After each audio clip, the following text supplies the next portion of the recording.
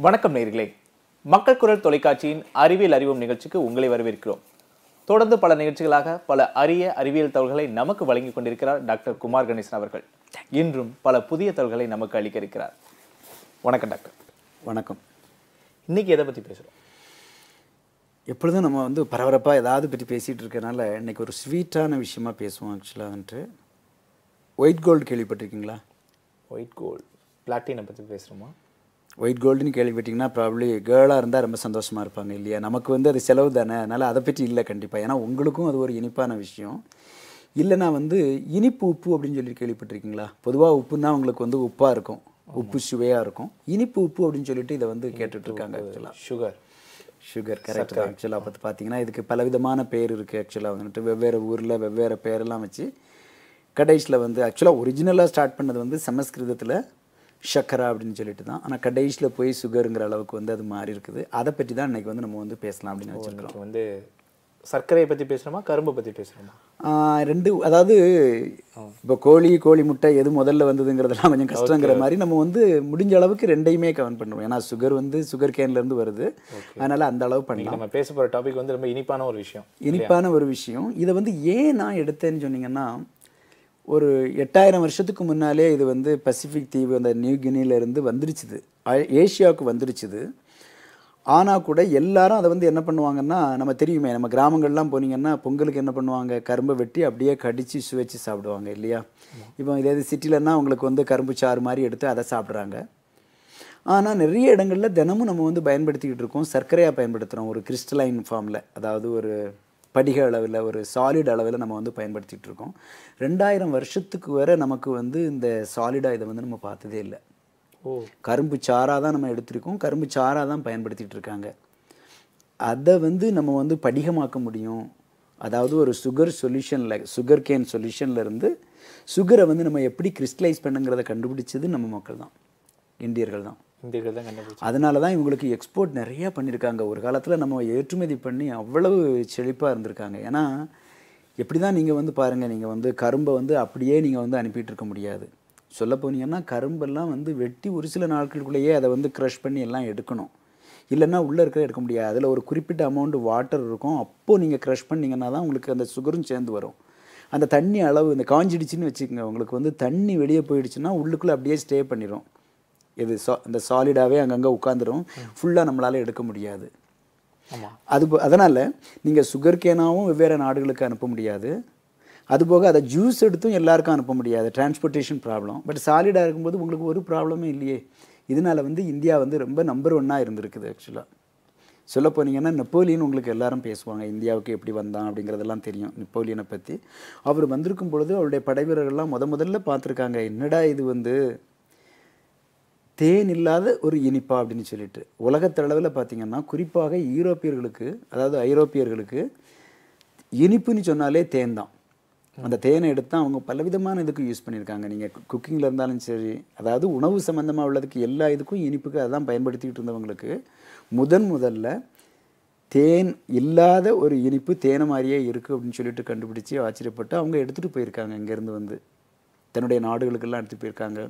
Even Columbus கூட நிறைய நாடுகளில் போய் பரப்பியிருக்காரு அப்படின்னு சொல்லிட்டு. அதனால் இதனுடைய ஹிஸ்ட்ரியை பார்க்கும்பொழுது ரொம்ப நல்லா இருக்குது ஆக்சுவலாக அதனால தான் இன்றைக்கி இந்த டாப்பிக்கை வந்து நம்ம வந்து எடுக்கலாம் அப்படின்னு சொல்லிட்டு பண்ணது ஆக்சுவலாக ஸோ உலகம் முழுவதும் வந்து இன்னைக்கு சுகர் இருக்கிறதுக்கு மெயின் ரீசனே வந்து இந்தியா தான் சொல்றீங்க.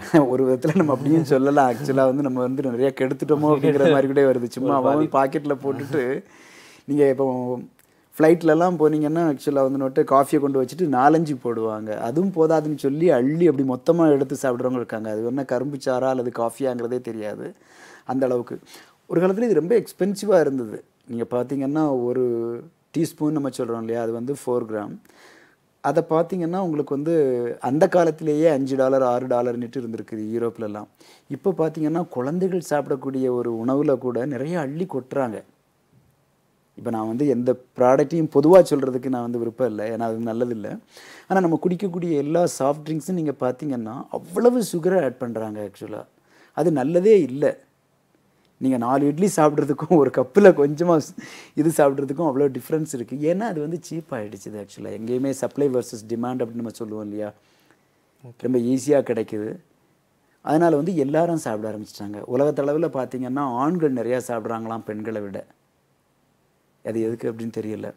இதில் வந்து இன்னொரு வித்தியாசம்னா ஏழை நாடுகள் தான் சுகர் அதிகமாக சாப்பிட்றாங்களாம். பணக்காரங்களை விட பார்க்கும் பொழுது. பொதுவாக ஓவரால் பார்த்தீங்கன்னா ஆக்சுவலாக நிறையா சாப்பிட்டுட்டு இருக்காங்க. இந்த சுகர் எப்படி தயாரிக்கிறாங்க? அதாவது நம்ம ஒரு கரும்பு சாறுனா அதோட நிறத்துக்கும் நமக்கு அதுக்கு வந்து சர்க்கரையா வரும்போது அதோட நிறத்துக்கும் எவ்வளவு வித்தியாசம் இருக்கு? இது வெள்ளையை மாற்றுறதுக்கு என்ன பண்றாங்க? கரெக்ட் நீங்கள் வந்து பொதுவாக என்னது உங்களுக்கு வந்து சாறு அப்படின்னு சொன்னீங்கனாலே அது ஒரு கான்சன்ட்ரேட்டட் சொல்யூஷன் இல்லையா? உங்களுக்கு வந்து அதில் வந்து சுகர் இருக்குது ப்ளஸ் ஃபியூ அதர் திங்ஸ் இருக்குது உங்களுக்கு வந்து நிறைய ஆர்கானிக் நேச்சுரல் ப்ராடக்ட்ஸ் கூட இருக்கும். ஃப்ளேவனாய்ட்ஸ் அப்படிலாம் நம்ம சொல்லுவோம். இது தவிர நிறைய மினரல்ஸ் கூட இருக்குது ஆக்சுவலாக எல்லா தாவர உணவுலையும் பார்த்தீங்கன்னாலும் சரி இருக்கும். நீங்கள் மேங்கனீஸ் இருக்குது அயன்ஸ் இருக்குது இப்படி நிறைய இதெல்லாம் இருக்குது. அப்போது சில ஆர்கானிக் காம்பவுண்ட்லாம் பார்த்தீங்கன்னா கலராக இருக்கும்.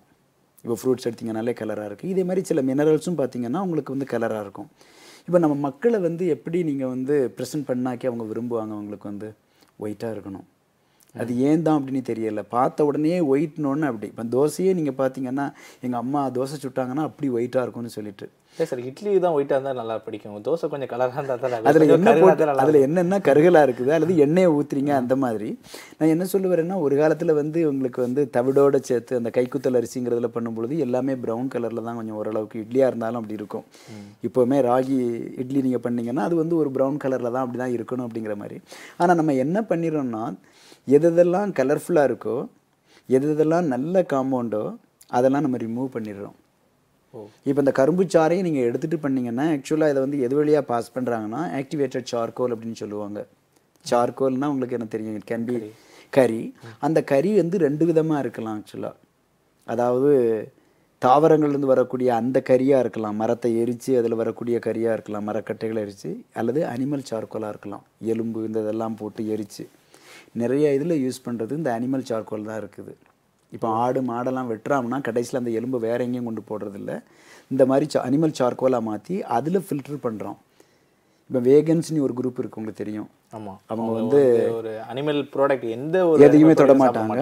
அவங்க வந்து இந்த ஒயிட் சர்க்கரையை சாப்பிட மாட்டாங்க. எதனாலன்னா இந்த சுகர் சொல்யூஷன் இருக்கு இல்லையா அந்த கரும்பு சாறை வந்து அனிமல் சார்கோல் வழியாக நம்ம வந்து அனுப்புகிறாங்க அந்த அனிமல் சார்கோலில் இருக்கக்கூடிய எந்த அனிமல் ப்ராடக்ட்டும் உள்ளே போகிறதில்ல ஆனாலும் அந்த ப்ராசஸ் வழியாக போகும்பொழுது இந்த இம்ப்யூரிட்டிஸ்ன்னு சொல்லக்கூடிய ஆக்சுவலாக இம்ப்யூரிட்டிஸ் கிடையாது. அந்த கலராக இருக்கிறதெல்லாம் மறைஞ்சிறதுனால வெள்ளை நிறத்தை கொண்டு வர்றது கொண்டு வர்றதுக்காக அந்த மாதிரி பண்ணுறதுனால தான் இது. இப்படி தான் பியூரிஃபை பண்ணுறாங்க நார்மலாக பண்ணுறது என்னென்னா நீங்கள் வந்து தோட்டத்தில் போய் நீங்கள் கரும்பை வெட்டணும் அதுக்கப்புறம் சின்ன சின்னதாக ஆக்கி உடனே க்ரஷ் பண்ணி பாயில் பண்ணி அதை தேவையில்லாதெல்லாம் ஃபில்டர் பண்ணி அப்படி தான் ரெகுலர் ப்ராசஸ் அப்படி போகுது பட் மெயினாக நமக்கு வேண்டியது வந்து இந்த பியூரிஃபிகேஷனில் இந்த ஒயிட்டை எப்படி கொண்டு வர்றாங்க. இதனால நம்ம நம்ம நாமே கெடுத்துக்கிறோம் ஆக்சுவலாக பார்த்தீங்கன்னா ஓ இதனால ஆரோக்கியமும் பாதிக்கும் இல்லையா? ஆமாம் இப்போ நம்ம வீட்டில் மைதா இந்த ரெண்டும் எவ்வளோ டிபேட் நம்ம பண்ணுறோம் இந்தியாவில் பார்த்தீங்கன்னா நீங்கள் வந்து புரோட்டா சாப்பிட்றாங்க தினமும் போய் சாப்பிட்றாங்க அது எப்படி தான் தெரியல. அதெல்லாம் பார்த்தீங்கன்னா மைதா. மைதாவும் கோதுமை தானேன்னு நிறைய பேர் கேள்வி கேட்குறாங்க ஆமாம் கோதுமை தான். பட் அதில் இருக்கக்கூடிய ஃபைபர்லாம் நம்ம நீக்கிடுறோம். அதை ப்ளீச் பண்ணுறோம் எப்படி முடிக்கு அல்லது ஸ்கின்னுக்கு ப்ளீச் பண்ணுறோம்னு சொல்கிற மாதிரி பண்ணுறது மாதிரி அதுலேயும் வந்து ப்ளீச் பண்ணி கம்ப்ளீட்டாக ஒயிட்டாக மாற்றிட்டு அதுக்கப்புறமும் அதை ஃபைன் பவுடராக மாற்றுறதுக்கு ரொம்ப நாளைக்கு அது வந்து பாதுகாப்பாக இருக்கணுங்கிறக்காண்டி இன்னும் அடிட்டிவ்ஸ்லாம் ஆட் பண்ணி கடைசியில் பார்த்தீங்கன்னா நம்ம வந்து உணவுக்கு பதிலாக விஷத்தை சாப்பிடக்கூடிய அளவுக்கு நம்ம வந்து மாற்றிடுறோம் இப்போ வந்து கேக்கெல்லாம் நீங்கள் பண்ணணும் ஒரு பர்த்டே கேக் பண்ணணும்னா உங்களுக்கு ஒயிட்லேருந்து ஆரம்பித்தாதான் நமக்கு வந்து வேண்டிய கலர்லாம் கொண்டு வர முடியும். அது தவிர அதுவும் ரொம்ப ஃபைனாக இருக்கும் அப்படிங்கிறதெல்லாம் பல காரணங்கள் இருக்குது கரெக்டு தான் பட் அதுக்காக வேண்டி தேவையில்லாத ஒரு விஷமான பொருள் மாதிரி இருக்கிறத நம்ம வந்து சாப்பிடணுமாங்கிறது தான் அந்த கேள்வி ஆக்சுவலாக பார்த்தீங்கன்னா ஓகே இப்போ இப்போ நீங்க வந்து வெண் சர்க்கரை வந்து தயாரிக்கிறத பத்தி சொன்னீங்க இல்லையா? இப்போ இந்த உலகத்திலே அதிக அளவுல சர்க்கரை அதாவது கரும்பு உற்பத்தியிலும் சரி சர்க்கரை உற்பத்தியிலும் முதல்நிலை வைக்கிற நாடு எந்த நாடு? அது உலகின் சர்க்கரை கிண்ணம் அப்படின்னு சொல்கிறது பிரேசில் தான் உங்களுக்கு. சவுத் அமெரிக்கா உங்களுக்கு தெரியும். பொதுவாக வந்து எல்லாம் நம்ம சொல்கிறது தான். அங்கே தான் ஃபார்ட்டி பர்சன்ட் சர்க்கரை வந்து ரொம்ப பயன்படுத்துகிறாங்க அந்த இது உற்பத்தி செய்கிறாங்க ஆனால் தே ஆர் வெரி ஸ்மார்ட் எல்லா நேரமே பார்த்தீங்கன்னா நீங்கள் இப்போ ஹோட்டலில் போனீங்கனாலுமே அதோட ஓனர் வந்து அவங்க ஹோட்டலில் சாப்பிட மாட்டார். எப்பயுமே. ஆமா. நம்ம சமைக்கிற சாப்பாடே நம்ம சாப்பிடுறது இல்ல என் வீட்டில் போய் தான் சாப்பிடுவேன் என்று மனைவி ச சமைக்கிறது அல்லது தின்ட்டு. ஏன்னா அவங்களுக்கு தெரியும் சில இதை வந்து எதனால் நம்ம வந்து பண்ணுறோங்கிற மாதிரி. இவ்வளவு இருந்தால் கூட நீங்கள் பார்த்தீங்கன்னா அதிகமாக சர்க்கரையை சாப்பிட்றது வந்து நம்முடைய இந்தியா தான். ஆனால் ரெண்டாவது அளவில் நம்ம வந்து உற்பத்தி செய்கிறோம் அதுவும் உண்மை. அதாவது ஃபஸ்ட்டு வந்து பிரேசில் அதுக்கப்புறம் உலகத்தளவில் சர்க்கரையை உற்பத்தி செய்யக்கூடியது நாம் ரெண்டாவது இடத்துல இருக்கோம். ஆனால் சாப்பிட்ற குவான்டிட்டியில் குவான்டிட்டினா என்ன சொல்லணும்னா ஒரு வருஷத்துக்கு எவ்வளோ அமௌண்ட் சாப்பிட்றோம் அப்படிங்கிறத வந்து நாம தான் ஃபஸ்ட் இடத்துல இருக்கோம். அதுக்கு ஜனத்தொகையும் ஒரு காரணம். பட் அப்படி பார்த்தீங்கன்னா நம்மளை விட ஜப் சைனா வந்து அதிகமாக இருக்காங்க. ஆனால் அவங்க அப்படி சாப்பிடல ஆக்சுவலாக வந்துட்டு இண்டிவிஜுவல் அளவில் பார்த்தீங்கன்னா அதாவது இது வந்து ஒரு நாட்டினுடைய அளவில் பார்த்தீங்கன்னா நம்ம இந்தியாவில் வந்து அதிகமாக சாப்பிட்றாங்க.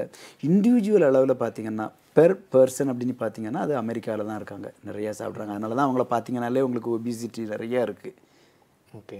ரொம்ப இதுவாக இருக்குது அவங்க வந்து ரொம்ப ஒபீஸாக இருப்பாங்களே குண்டு குண்டாக இருக்காங்க. அவங்க பார்த்தீங்கன்னா சின்ன வயசுலேயே நிறைய இது இருந்தது இல்லையா? அதாவது என்னென்னா நீங்கள் சாஃப்ட் ட்ரிங்க்ஸ்லாம் பார்த்தீங்கன்னா நிறையா போடுறாங்க ஆக்சுவலாக நம்ம அளவே வந்து என்ன ஒரு நாளைக்கு இவ்வளோ தான் இருக்கணும்னு சொன்னீங்கன்னா அது அளவுக்கு அதிகமாக போய் சின்ன குழந்தைகளுக்கே வந்து என்ன செய்கிறாங்க ஃப்ரீ அப்படின்னுவாங்க இப்போ மெக்டானல் போனீங்கன்னா ஓகே நீங்கள் வந்து பர்கர் வாங்கினீங்கன்னா கூல் ட்ரிங்க்ஸ் ஃப்ரீ அப்படின்னுருவான் அல்லது ஒரு காம்பினேஷன் போடுவான் இங்கே கூட நீங்கள் மாலில் போனீங்கன்னா தெரியும் மூணு வாங்கினீங்கன்னா அப்படின்னு சொல்லி. அதில் வந்து பொட்டேட்டோ ஃப்ரைஸ் இருக்கும். உங்களுக்கு அந்த பர்கர் மாதிரி ஒன்று இருக்கும். அப்புறம் அதோட ட்ரிங்க்ஸும் சேர்ந்து வந்துடுது இதில் வேறு என்னென்னா வெற்ற நாடுகள்லாம் வந்து ரீஃபில் ஃப்ரீ அப்படின்னு சொல்லுவோம். குடிச்சிட்டு அதே கப்பை எடுத்துகிட்டு போனீங்கன்னா திரும்ப திரும்ப நீங்கள் ரீஃபில் பண்ணிக்கலாம். அதுவே வெளியே தான் இருக்கும் ஆக்சுவலாக உள்ளே கூட கொடுத்து வாங்க வேண்டாம். இந்த குழந்தைகள் போன உடனேயே அதை ஃபுல்லாக குடிச்சிட்டு அதுக்கப்புறம் தான் பர்கரை தொடம்ப ஆரம்பிக்கும் பழையபடியும் பண்ணும். இப்போ ஆஃபீஸ்லேயும் நீங்கள் நிறைய பேரை பார்த்தீங்கன்னா அவன் வந்து அப்படி இவ்வளோ பெருசாக வச்சுக்கிட்டே இருப்பான். உள்ளே வந்து ஐஸையும் போட்டு குடி குடினு குடிச்சிக்கிட்டே இருப்பாங்க. அதனால சர்க்கரையினுடைய அளவு இண்டிவிஜுவலாக அதிகமாக சாப்பிட்றது வந்து அமெரிக்கர்கள் தான். ஆனாலும் சர்க்கரை நோய் நமக்கு நிறையா இருக்குது ஆமா. உலகம்ல நம்ம தான் சர்க்கரை நோயை கொடுத்துருக்கோம் அப்படின்னா. சர்க்கரையை கொடுத்தது மட்டும் இல்லை சர்க்கரை நோயை நம்ம வாங்கி வச்சு நம்ம வாங்கி ஓகே ஆமாம் ஏன்னா நம்ம கவனமாக இருக்கிறது இல்லை ஏன்னா அவன் வந்து நல்லா சாப்பிட்டு போய் ஜிம்மில் போய் நல்லா இதெல்லாம் பண்ணுவான். நம்ம வந்து பண்ணுறது இல்லை அன்னெசரியாக நம்ம டென்ஷன் பண்ணுவோம். நம்ம கண்ட்ரியில் தான் உங்களுக்கு வந்து எல்லா இதிகாசங்களும் இருக்குது யோகா இருக்குது மோட்டிவேஷன் இருக்குது. ஆனாலும் எல்லாருக்கும் நம்ம மோட்டிவேட் பண்ணுவோம். நம்ம உட்காந்துட்டு அழுதுட்டு இருப்போம். டென்ஷன் ஸ்ட்ரெஸ் இதனால வந்து கூட கொஞ்சம் அது அஃபெக்ட் ஆகுது இப்படிலாம் சொல்கிறாங்க அது வேற ஒரு topic but that is what going on ஆக்சுவலாக இந்த கரும்புகள் இல்லையா? வேற எதுக்கெல்லாம் பயன்படுது? இப்போ நம்ம சுவைக்காக நம்ம சர்க்கரை தயாரிக்கிறோம் ஓகே வேற ஏதாவது எரிபொருளாவோ இது மாதிரி எல்லாம் ஆமாம் ஏன்னா உங்களுக்கு வந்து இப்போ நீங்கள் நார்மலாக பார்த்தீங்கன்னாலே உங்களுக்கு அதில் உள்ள ஜூஸை எடுத்ததுக்கப்புறம் மீதி இருக்குது ஆக்சுவலாக அதில் உள்ள சக்கை அப்படின்னு நம்ம சொல்லுவோம் இல்லையா? அந்த சக்கையை வந்து அப்படியே எரிபொருளாகவும் பயன்படுத்தலாம். பேப்பர் பண்ணுறதுக்கு வந்து பயன்படுத்துகிறாங்க அதிலிருந்து பேப்பர் இண்டஸ்ட்ரிக்கு வந்து நிறைய யூஸாக இருக்குது. இது தவிர பார்த்தீங்கன்னா இதிலிருந்து வந்து ஆல்கஹால் தயாரிக்கிறாங்க. ஆமா. ஆல்கஹால்னு சொல்லும்போது அது நீங்கள் குடித்தாலும் சரி அல்லது வந்து எத்தனால் வந்து நீங்க பொதுவா ரம் வந்து இதுல இருந்து தயாரிப்பாங்க. ஆமாம் அந்த மாதிரிலாம் இருக்குது அது தவிர இல்லைன்னா உங்களுக்கு வந்து எரிபொருளாக பயன்படுத்துகிறாங்க அதாவது கார்களுக்கு அதாவது வண்டிகளுக்கெல்லாம் வந்து எரிபொருளாக பயன்படுத்துகிறாங்க அதுதான் ரொம்ப முக்கியம். இப்போவே நிறைய கண்ட்ரிலலாம் போனீங்கன்னா டென் பர்சன்ட் எத்தனால் ஆடட் அல்லது டுவெண்ட்டி பர்சன்ட் எத்தனால் ஆடட்னு சொல்லி போடுவாங்க. பியூராக ஒன் ஹண்ட்ரட் பர்சன்ட் பண்ணுறது இல்லை ஏன்னா இக்னிஷன் கொஞ்சம் ப்ராப்ளம் இருக்கும் வந்து. அதனால் அந்த டீசல் அல்லது பெட்ரோலோட மிக்ஸ் பண்ணி இதை வந்து பயன்படுத்துகிறாங்க அது வந்து கான்லேருந்தும் நிறையா தயாரிக்கிறாங்க. இப்போ அமெரிக்கா போகிற நாடுகள்லாம் பார்த்தீங்கன்னா கார்ன் வந்து உணவாக உற்பத்தி பண்ண வேண்டியது. ஆனால் அதை நிறைய வந்து ஒரு குறிப்பிட்ட அமௌண்ட்டை வந்து ஆல்கஹாலாக இது பண்ணுறதுக்காக வேண்டி. இது பண்ணுறதுல ஒரு அட்வான்டேஜ் இருக்குது உங்களுக்கு வந்து பார்த்தீங்கன்னா இப்போ நம்ம முழுக்க முழுக்க வந்து கிட்டத்தட்ட ஒரு இருபது நாடுகளை தான் நம்ம நம்பி இருக்கிறோம். இப்போ நம்ம நாட்டிலையுமே பார்த்தீங்கன்னா உங்களுக்கு பெட்ரோல் நிறைய கிடைக்காது. கச்சா பொருளை நம்ம வந்து மிடில் ஈஸ்ட்லேருந்து வாங்கி அதை ரிஃபைனரியில் போட்டு நம்ம வந்து பிரித்து எடுத்து பண்ணி நமக்கு நிறைய எக்ஸ்பென்சிவாக இருக்குது பட் அதே இது வந்து இந்த கரும்பு தயாரிக்கக்கூடியது கரும்பு உற்பத்தி செய்யக்கூடியது நீங்கள் பார்த்தீங்கன்னா கிட்டத்தட்ட ஒரு இரநூறு கண்ட்ரீஸ் இருக்குது ப்ராப்ளி மிடி மிடில் ஈஸ்ட்டை தவிர எல்லா இடத்துலையும் அது விளையும்னு நினைக்கிறேன். ஏன்னா அங்கே தான் வந்து பண்ண முடியாது. அப்போது உங்களுக்கு வந்து ஃப்யூச்சரில் பார்த்தீங்கன்னா ஒரு நாட்டை வந்து நம்பி வாழணும் அப்படிங்கிறது வந்து ஒன்று கிடையாது. ரெண்டாவது வந்து பெட்ரோல் தீந்து போயிடும் இன்னும் ஒரு ஐம்பது வருஷத்தில் இருபது அப்படி இப்படின்னு சொல்கிறது மாதிரிலாம் ப்ராப்ளம் கிடையாது. இது வந்துடும் ஒரு காலத்தில் முழுக்க முழுக்க வெறும் எத்தனால் மட்டுமே வச்சு நம்ம ஓட்ட முடியுங்கிற டெக்னாலஜி கூட வந்துடலாம் உங்களுக்கு வந்து. அதுதான் இதில் அட்வான்டேஜ் உங்களுக்கு இப்போ வந்து ஒரு பெர்சன்டேஜ் நம்ம பயன்படுத்தணும்னா கூட ஒரு குறிப்பிட்ட நாளில் அப்படிலாம் ஒன்றுமே கிடையாது. நீங்கள் you can convert any thing into எத்தனாலுங்கிறது வந்து ஒரு கான்செப்ட் ஆக்சுவலாக அதுவும் இந்த செக்க மாதிரி இருக்கிற பொருளெல்லாம் கம்ப்ளீட்டாக மாற்றிட்டு ரொம்ப நல்லா இருக்கு இப்போ இது பெட்ரோலிய புகை அளவுக்கு இந்த எத்தனாலுடைய புகை இருக்காது இல்லையா? கண்டிப்பாக கிடையாது. உங்களுக்கு க்ரீன் கேஸ் எஃபெக்ட் வந்து ரொம்ப கம்மி. இப்போ ஹைட்ரோ கார்பன் சொன்ன உடனேயே நீங்கள் எரிக்கும் பொழுது என்ன ஆகுது? அதில் இருக்கக்கூடிய கார்பன் எல்லாம் கார்பன் டை ஆக்சைடு ப்ளஸ் வாட்டராக மாறுது அப்படிங்கிறது தான். இதில் வந்து ஆல்கஹால்னு சொல்லும்பொழுது அங்கே ஒரு OH குரூப்பும் வந்துடுது ஆக்சுவலாக ரிலேட்டிவ்லி கம்மி. சரி அதாவது சொல்கிறவங்க என்ன சொல்லலாம்னா இது வந்து குறைவாக இருக்குன்னு சொல்லலாம். குறைவாங்கிறது அகெயின் ரிலேட்டிவ் டேர்ம் தான். பட் பட் பொதுவாக வந்து இந்த க்ரீன் கேஸ் எஃபெக்ட் வந்து கம்மியாக இருக்குது அந்த விதத்தில் என்விரான்மெண்ட்டுக்கும் இது வந்து ஒரு ஓரளவுக்கு பயனுள்ளதாக இருக்குது ஆக்சுவலாக வந்துட்டு. ஓகே இந்த கரும்பு விளைவிக்கும் முறைகள் இருக்கு இல்லையா? நான் சில இடங்களில் நான் பார்த்திருக்கேன். கரும்புகளை வந்து இந்த கீழ்ப்பகுதியில் வெட்டி விட்டுருப்பாங்க. அதில் அந்த விளைவிக்கிற முறையெல்லாம் எப்படி? அதாவது பொதுவாக பார்த்தீங்கன்னா ரொம்ப ஈஸி நீங்கள் கடை கடையில் போயிட்டு நீங்கள் வந்து ஒரு க கரும்பை வாங்கிட்டு வந்தீங்கன்னா அந்த கணு கணுவாக இருக்கும். உங்களுக்கு பார்த்துருப்பீங்க இல்லையா? அவங்க அது. அந்த இடத்துல கரெக்டாக வெட்டுனீங்கன்னா அந்த இதுலேருந்து உங்களுக்கு வந்து முளைக்கும். அப்படி கூட நீங்கள் வந்து வீட்டில் வைக்கலாம். அதாவது ஒரு நல்ல விளைஞ்ச ஒரு கரும்பை எடுத்துகிட்டு வந்து அப்படி வெட்டி துண்டு துண்டாக வெட்டி நம்ம வீட்டில் வச்சா கூட அது ஈஸியாக வந்துடும் அது ஒரு முறை. இப்படி வரும்னு சொன்னீங்கன்னா நமக்கு அடுத்த கேள்வி எப்படி வருதுன்னா கரும்பை ஃபுல்லாக வெட்டாமல் அந்த மாதிரி கீழே ஒரு ஒரு கணுவை விட்டுட்டு அந்த இடத்துல வெட்டினா பழையபடியும் வளருமா? இப்போ நிறைய மரங்கள் அப்படி தானே இப்போ வந்து நம்ம வீட்டில் கூட வேப்ப மரம் வைக்கிறோம். அதை நீங்கள் வந்து ஒரு கொப்பை ஒடிச்சு விட்டிங்கன்னா அது பக்கத்துலேருந்து நிறைய கிளைகள்லாம் போக ஆரம்பிச்சிடும் அதுதான் இந்த பிரின்சிபல் வந்து. அதை மாதிரி பண்ணும்பொழுது மறு தாம்பு முறை அப்படின்னு சொல்லிட்டு அந்த ஒரு இது இருக்குது. நம்ம நம்ம ஊர்லேயும் இருக்குது பல கன் கண்ட்ரிலையும் இருக்குது. இதில் இம்பார்ட்டன்ட் திங்னா பத்து தடவை இப்படி பண்ணலாமா? ஓ. ஒரு தடவை ஏன்னா உங்களுக்கு வந்து அது ஒரு கரும்புலேருந்து ஒன்றா வராது உங்களுக்கு தெரியும் இப்படி நிறைய புடைச்சி வந்துட்டுருக்கோம். சில வாழைக்கன்று எப்படி நிறையா வருதோ அதே மாதிரி வந்துட்டுருக்கோம். நீங்கள் அதை வெட்டி விட்டதுக்கப்புறம் பழையபடி பழையபடி பண்ணி பத்து தடவை பண்ணலாம் அப்படிங்கிறாங்க. ஆனால் ஒவ்வொரு முறையும் வரும்பொழுது அது வந்து சின்ன சின்னதாக இருக்கும். அதான் நீங்கள் கடையிலே போய் நீங்கள் வந்து கரும்பு வாங்கினீங்கன்னா ஒன்று பெரிய கரும்பாக இருக்கும் சின்ன கரும்பாக இருக்கும். பட் சுவையெல்லாம் ஒன்று தான் அதில் ஒன்றும் இருக்க கிடையாது. சில நேரங்களில் சில நோய்கள் வர்றதுக்கு சான்ஸ் இருக்குது அப்படின்னு சொல்லி. ஏன்னா எப்படி தான் இருந்தாலும் ஒரு ஒரிஜினல் ஓல்டு ஜீன்லேருந்து வருது இல்லையா? அந்த மாதிரி வர்றதுக்கு சான்ஸ் இருக்குது அப்படின்னு சொல்லிட்டு. இதில் ஒரு முக்கியமாக நிறைய பேருக்கு இதில் தெரியாத விஷயம் என்னென்னா இந்த கரும்பு வந்து பூக்கும் அப்படிங்கிறது வந்து. ஓ. அது வந்து ஒரு குறிப்பிட்ட நாள் ஆச்சு. நான் பொதுவாக ஒம்பது மாதத்துலேருந்து இருபத்தி நாலு மாதம் வரை இருக்கக்கூடிய வெரைட்டிஸ் இருக்குது இது வந்து நெல் வகை நெல் சோளம் கோதுமை வெரைட்டி ஒரு புல் வெரைட்டி அப்படின்னு சொல்லுவோம் இது பூக்கு தான் அந்த பூலேருந்து வரக்கூடிய விதைகள் பயன்படுத்தி கூட நம்ம வந்து என்ன செய்யலாம்? கரும்பு இந்த கரும்பு வந்து விளைவிக்கலாம். பட் என்ன ஒரு இன்ட்ரெஸ்டிங் பாயிண்ட்னா ஒவ்வொரு சீடும் ஜெனட்டிக்கலி டிஃப்ரெண்ட் தான். மரபணுவில் வித்தியாசமாக இருக்கும். அதனால நீங்கள் வந்து ஒரு கரும்பில் எடுத்து ஒரு ஐம்பது நூறு விதை வருதுன்னா அதை வச்சு போட்டிங்கன்னா வெவ்வேறு விதமான கரும்பு வந்துருமா? ஒரே மாதிரி வராது. ஆனால் மார்க்கெட்டில் ஒரே மாதிரி இருக்கும்னு கேட்குறாங்க எப்பொழுதுமே நமக்கு அந்த யூனிஃபார்மிட்டி வேணும்னு சொல்லிட்டு என்ன இது வந்து ஒன்று சிவப்பாக இருக்குது ஒன்று கருப்பாக இருக்குது ஒன்று ப்ரௌனாக இருக்குன்னு சொல்லக்கூடாது இல்லையா? அதனால் வந்து பொதுவாக அது போகிறதில்ல அது எப்படி தான் அந்த ஜெனட்டிக்காக வந்து இருக்குங்கிறது வந்து அது இன்னொரு ரிசர்ச் ஆக்சுவலாக என்ன இப்போ நீங்கள் சொல்கிறதே எனக்கு ஆச்சரியமா இருக்குது மேக்ஸிமம் அந்த கரும்பு அந்த கு- குருத்துகள் அந்த குலையோட பார்த்துருக்குறேன். அந்த பூக்கள் நாங்கள் பார்த்தது மாதிரி மேலே வரும். அந்த பூ வந்து விதையும் வருது ஆக்சுவலாக வந்து நட்டு பட் அதை வச்சு பயன்படுத்தலாம் ட்ரை பண்ணி பார்த்துருக்காங்க. பட் அந்த மாதிரி முறையில் வந்து ரொம்ப இதுவாக இருக்காங்க ஆக்சுவலாக பார்த்தீங்கன்னா. அஹ் கரும்புல இருந்து சர்க்கரை எடுக்கிறோம். ஓகேவா இந்த சர்க்கரைக்கு மாற்று சர்க்கரை அதாவது மாற்று பொருள் சப்ஸ்டியூட் ஏதாவது இருக்கா? ஆமாம் அது வந்து இப்போ நம்ம ஹோட்டலில் போனாலே சொல்லுவாங்க இல்லையா? அவங்க வந்து நிறைய நல்ல டீசெண்டான ஒரு பெரிய ஹோட்டலெல்லாம் நீங்கள் பார்த்தீங்கன்னா உங்களுக்கு காஃபி தான் கொண்டு வைப்பாங்களே தவிர அது பக்கத்தில் வந்து உங்களுக்கு வந்து சுகர் தனியாக இருக்கும் பாக்கெட்டில் அது தவிர சுகர் ஃப்ரீனி நிறைய கெமிக்கல்ஸ் வச்சுருப்பாங்க. நீங்கள் ஸ்ப்ளெண்டாக இருக்கலாம் ஈக்குவல் இருக்கலாம் அப்படி நிறையா வெவ்வேறு ப்ராடக்ட்லாம் நிறையா வந்துருக்குது.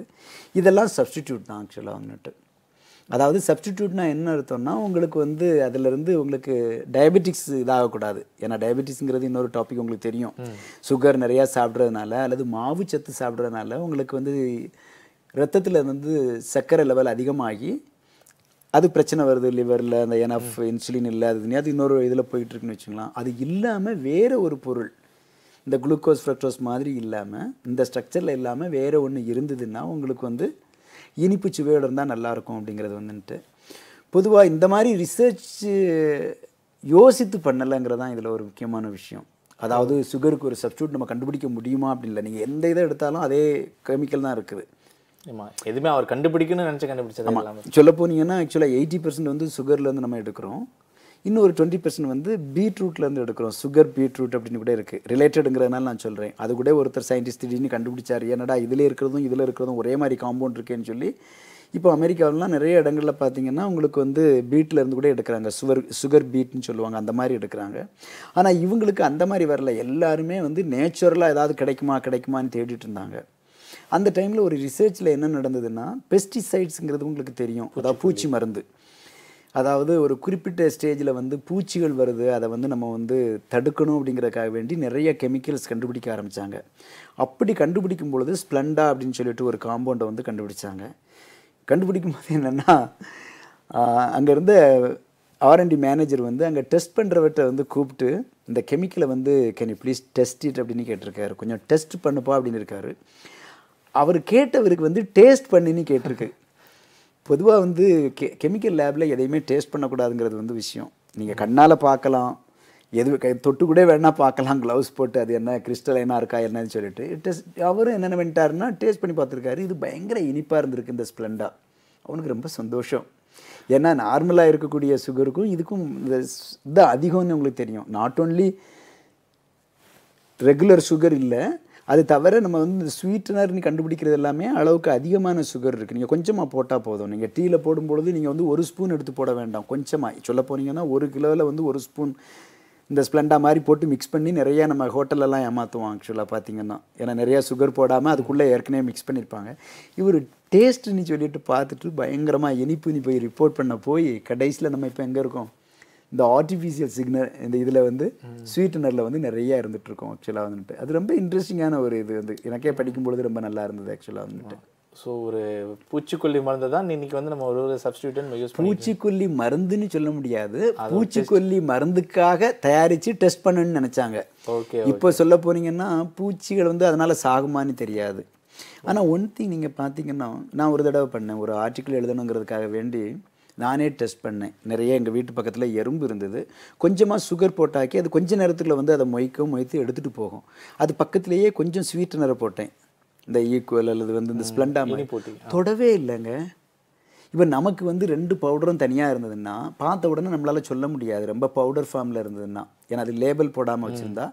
நாக்கு எடுத்து தொட்டு பார்த்தீங்கன்னா ப்ராபப்ளி ஒன்று அதிகமாக சுகராக இருக்குது ஒன்று வந்து குறைவாக இருக்குது இதையே நம்ம குழந்தைகளுக்கோ அல்லது முன்புன்னு தெரியாதவங்களுக்கோ பார்த்தீங்கன்னா ஏய் இது ரொம்ப நல்ல சுகராக இருக்கேன்னு சொல்லிட்டு அதை தான் எடுத்து நாக்கில் தொட முடியணும் ஆனால் இந்த எறும்புகள் அது எப்படி கண்டுபிடிக்கிறது பாருங்கள் இதுக்கு வந்து ரெண்டுக்குமே உங்களுக்கு வந்து இது கிடையாது. ஓடர்லெஸ். அதாவது என்னது வாசனை. கிடையாது. அப்படின்னா கூட ஒண்ணுல வந்து ஒரு பேட் வாசனை வருது அல்லது வித்தியாசம் இல்லை.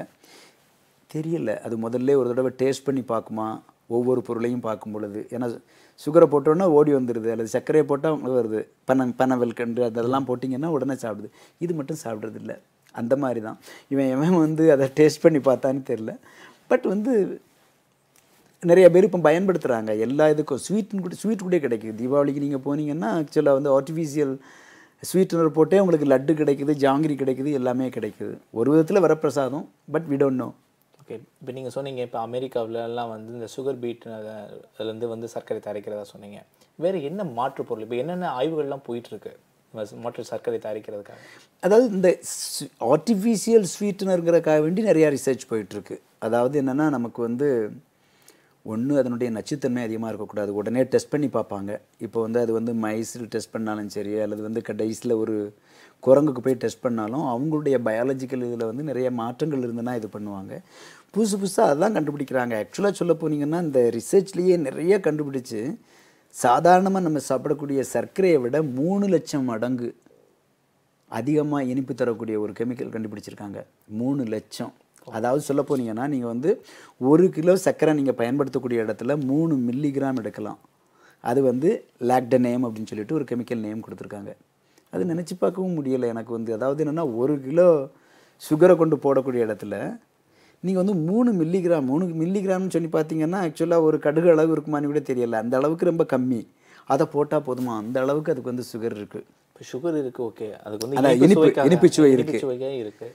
பட் பாதிப்புகளும் அந்த அளவுக்கு பட் ப்ராப்ளம் என்னன்னா யூ ஆர் ரைட் ஆக்சுவலாக இதை வந்து பார்க்கும் பொழுது நச்சுத்தன்மையும் இருக்குது அப்படிங்கிறாங்க. இந்த கெமிக்கல் வந்து நச்சுத்தன்மை இருக்குது எனக்கு அதுவுமே எனக்கு ஆஸ் எ சயின்டிஸ்ட் பார்த்தீங்கன்னா மூணு மில்லிகிராம் நீங்கள் எவ்வளோ இதில் சேர்ப்பீங்க பாருங்கள் இப்போ ஒரு கிலோ சுகரை போடுறீங்கன்னா அந்த மாவே கிட்டத்தட்ட வந்து பார்த்தீங்கன்னா கிட்டத்தட்ட ஒரு பத்து கிலோ வச்சுருப்பீங்க ப்ராப்ளி அரிசி மாவாக இருந்தாலும் சரி அல்லது எதில் மிக்ஸ் பண்ணுறீங்களோ அவ்வளோ இருக்கும்.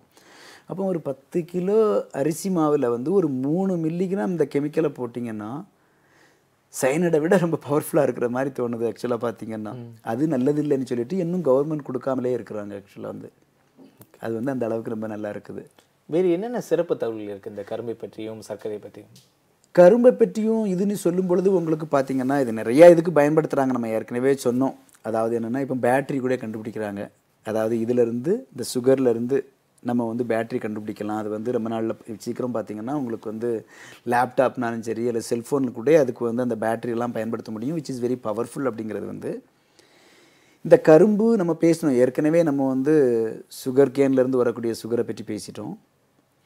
அடுத்து வந்து நம்ம வந்து இந்த சுகர் ரூட்லேருந்து வரக்கூடியது அந்த பீட் ரூட்டில் அந்த இதுலேருந்து கண்டுபிடிச்சிட்டோம். அப்படின்னு சொன்னீங்க இன்னும் ஒன்று வந்து நம்ம முடிக்கிறதுக்கு முன்னால் ஒன்று சொல்ல வேண்டியது என்னென்னா நம்ம ஊரில் இருக்கக்கூடியது வந்து பனைமரம் தென்னை மரம் அதுல இருந்து இருக்கிறத நம்ம வந்து ரொம்ப பயன்படுத்த மாட்டோமேங்கிறதா எனக்கு ஒரு கவலையாக இருக்குது அதை தான் நம்ம வந்து நிறையா பாயிண்ட் அவுட் பண்ணணும் இந்த ஷோ மூலமாக அதாவது சுகர்னு சொல்லும் பொழுதுன்னு சொல்லி.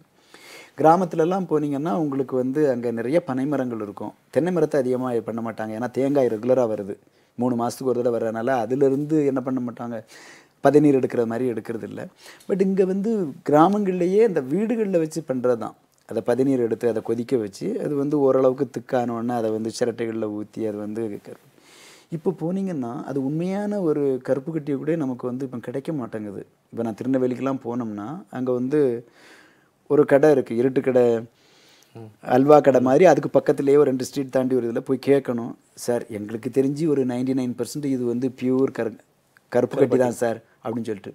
ஆனால் அது கடைசியில் பார்த்தீங்கன்னா அடியில் க தெ- அந்த சுகரே தெரியும் அந்த அளவுக்கு. ஏன்னா சுகரோட விலை வந்து ரொம்ப சீப்பு கிலோ வந்து எவ்வளவு? நீங்கள் வந்து முப்பத்தஞ்சு நாற்பது ரூபா இருக்கலாம். ஆனால் இது கருப்பு கட்டி ஒரிஜினல் கருப்பு கட்டி பார்த்தீங்கன்னா அது ஒரு இரநூறு முந்நூறு ரூபாங்கிற அளவுக்கு வருது. அதை நம்ம வந்து களங்கப்படுத்திட்டோம். அது ஒரு தப்பு. ஆனால் அந்த கருப்பு கட்டியை பயன்படுத்துறது வந்து ரொம்ப நல்லது. நான் ஏற்கனவே சொன்ன மாதிரி இதை ஃபில்டர் பண்ணலை. அதில் நிறைய நேச்சுரலி அக்கரிங் ஃப்ளேவனாய்ட்ஸ்லாம் நிறையா இருக்குது நிறைய மினரல்ஸ் இருக்குது அதை சாப்பிட்டீங்கன்னா ஈவன் நோயாளிகளுக்கு கூட அது நல்லதுன்னு தான் டாக்டர் சொல்கிறாங்க அஃப்கோர்ஸ் எவ்வளவு சாப்பிடணுங்கிறது வந்து ரொம்ப ரொம்ப முக்கியம். பட் ஆனால் ஒரு சுகர் போட்டு ஒரு காஃபி பண்ணுற இடத்துல இந்த மாதிரி பனை வெள்ளத்தையோ போடலாமே. எப்படியும் காஃபி வந்து உங்களுக்கு வந்து ப்ரௌன் கலர் தான் இருக்க போகுது. அதில் ஒயிட்டுங்கிற பிரச்சனை பனை வெல்லம் மட்டும் இல்ல. இப்ப நீங்க வந்து இந்த மண்டை வெல்லம்னு சொல்றாங்களே கரும்புல இருந்து தயாரிக்கப்படுகிற வெல்லம் கூட ஆமாம் அதை கூட பியூரிஃபை பண்ணாமல் அதாவது எல்லாமே நல்லதாக தான் இயற்கை கொடுக்குது. நாம தான் என்ன பண்ணுறோன்னா அதாவது நல்லதெல்லாம் நம்ம ரிமூவ் பண்ணிட்டு நம்ம கண்ணுக்கு மட்டும் அழகாக தெரிகிற அல்லது ஒயிட்டாக தெரிகிற ஒரு பொருளை மட்டும் எடுத்து சாப்பிட்றது வந்து ரொம்ப தப்பு. அதை வந்து நம்ம நே- நேயர்களுக்கு கண்டிப்பாக நான் சொல்கிறேன் ஆக்சுவலாக வந்துட்டு முடிந்த அளவுக்கு வந்து நல்ல கருப்பு கட்டி அல்லது பனை வெள்ளம் அல்லது வந்து இந்த இது பயன்படுத்துங்க. கலராக இருக்குங்கிறக்காக வேண்டி அதை வந்து எதிர்த்துடக்கூடாது ஒயிட்டாக இருக்கிறது வந்து பெரும்பாலும் பார்த்தீங்கன்னா அது நல்லது கிடையாது. சொல்லுவாங்க இல்லையா? அது வந்து அரிசி மாவாக இருந்தாலும் சரி உப்பாக இருந்தாலும் சரி சுகர் அதாவது ஒயிட் சுகராக இருந்தாலும் சரி மைதாவாக இருந்தாலும் சரி இப்போ லேட்டஸ்ட்டாக அந்த லிஸ்ட்டில் அநியாயமாக என்ன சேர்த்துட்டாங்க? பாலை கூட சேர்த்துட்டாங்க. அதில் கூட நிறைய கலப்படங்கள்லாம் இருக்குது அப்படின்னு சொல்லிட்டு. Therefore we have to be very careful. அதுவும் இந்த ஒரு மாய வழியில நம்ம மாட்டிக்கிறோம். வெள்ளையா இருக்கிறதெல்லாம் வெள்ளையா இருக்கிறவங்க போய் சொல்ல மாட்டாங்க கரெக்ட் அந்த மாதிரி இருக்கக்கூடாது. அந்த விதத்தில் இந்த சுகருடைய ஹிஸ்ட்ரி ரொம்ப நல்லா இருக்குது ஆக்சுவலாக இந்தியாவில் ஆரம்பித்து இந்தியாவுக்கே ஒரு ப்ராப்ளமாகவும் இருக்குங்கிறது வந்து ரெண்டாவது விஷயம். ஓகே இன்றைய நிகழ்ச்சியில கலந்துக்கிட்டு சுவையான கரும்பை பற்றி சுவையான பல தகவல்களை அளித்தமைக்கு மிக்க நன்றி டாக்டர். தேங்க்யூ